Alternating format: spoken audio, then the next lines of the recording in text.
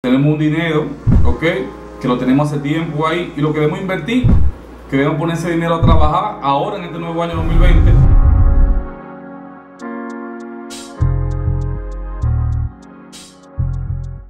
Muchas veces tenemos ese plan de nosotros hacer un apartamento para rentar o un apartamento para vender porque tenemos un dinero, ¿ok? Que lo tenemos hace tiempo ahí y lo queremos invertir queremos poner ese dinero a trabajar ahora en este nuevo año 2020 y lo que queremos poner es que ese dinero se multiplique. Queremos lograr que realmente poder comenzar con algo pequeño aquí en el sector inmobiliario.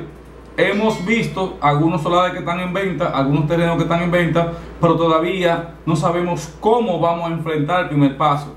Porque como no tenemos todo el dinero en una cuenta de banco, pensamos que no se puede. Pensamos que esos apartamentos no se pueden comenzar a construir o que esos locales comerciales no se pueden comenzar a construir porque no tenemos todo el dinero. ¿Ok?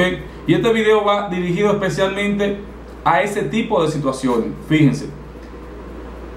En la mayoría de los casos, para comenzar un proyecto de construcción para vender apartamentos locales comerciales, nosotros solamente, literalmente, necesitamos el 10% del costo del proyecto. ¿Por qué? Porque el dinero aquí viene de cuatro vías. Y muchas veces entendemos que la vía más factible es usar nuestro capital para invertirlo en ese proyecto de construcción. Y realmente es la que menos nos renta. Muchos me dirán Calderón, pero lo que me sale más barato yo tener mi capital y yo invertirlo para multiplicarlo. Y yo en este video le voy a demostrar que no. Económicamente, realmente, el dinero va a venir de cuatro vías. Va a haber un primer camino que es la preventa. La preventa significa esos apartamentos que nosotros venimos en plano y que realmente ese costo financiero es de cero. No tuvimos que pagar un peso de interés por ese recurso económico. El segundo recurso económico es el banco o la deuda. Cuando tomamos un préstamo en el banco para construir apartamentos, ese recurso económico nos cuesta un 12%. ¿Ok? La cuarta vía que tenemos es la de un inversionista, la tercera vía, perdón, es la de un inversionista. Es ese inversionista que como mínimo nos va a pedir a nosotros un 20% para él sacar su dinero del banco, de una bolsa, de un portafolio económico e invertirlo en nosotros. Y la última vía es nuestro capital, es lo que tenemos en la cuenta de banco. Entonces, a través de esa cuatro vías se dan cuenta que la vía más barata, la vía más barata es la preventa. Por eso al principio tenemos que tratar de vender el 30% del apartamento antes de comenzar a, construir. Luego de ahí, el banco nos va a prestar a nosotros el 60% del costo financiero del proyecto porque ya tenemos un 30% eh, invertido en preventa.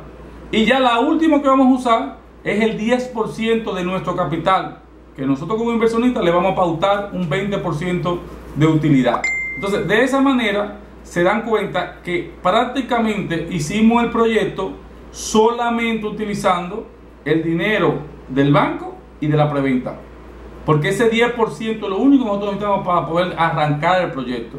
Aquí el juego no está en qué tanto dinero tenemos para hacer el proyecto. No, no. Aquí el juego está en qué tan barato yo puedo conseguir el terreno. Como primero, qué tan barato lo puedo conseguir. Y número dos, ¿Qué tanto yo puedo vender en preventa? Porque cuando nosotros presentamos al banco un terreno y presentamos una preventa de un 30% del proyecto, ya el banco nos va a prestar automáticamente el 60% del proyecto. Y de esa manera, si logramos hacer esa construcción de esos apartamentos o locales comerciales, teniendo nosotros solamente el 10% de capital.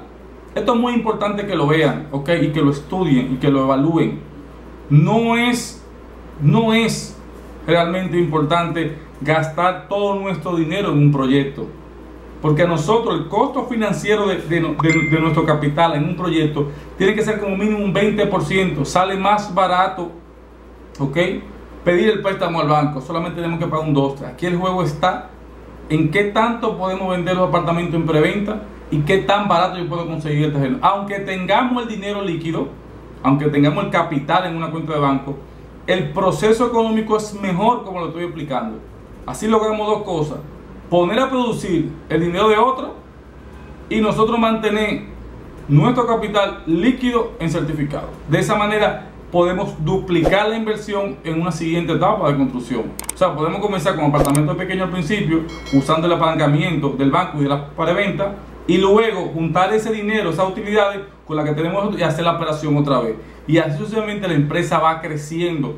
Pero es importante que comencemos con un proyecto sencillo, un proyecto pequeño, un proyecto realmente que sea económico, para que lo puedan ir vendiendo y así puedan generando utilidades y el proyecto se autopague solo. ¿Me doy a entender? Si ustedes creen que este video les funcionó, si ustedes creen que este video realmente le, le aportó, les pido que se lo compartan a un amigo, a un compañero. También pueden escribir su comentario ahora aquí a nuestro canal de YouTube y también pueden escribir a nuestro WhatsApp.